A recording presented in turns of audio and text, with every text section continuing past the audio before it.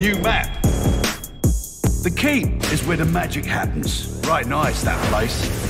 The winery is where I take the edge off. Because bottle service is nothing compared to barrel service. This is my town. The rest of you are just dropping in. And finally, Smuggler's Cove. Plenty of space for friends and even a few enemies. Glad I could show you around. Now get back out there.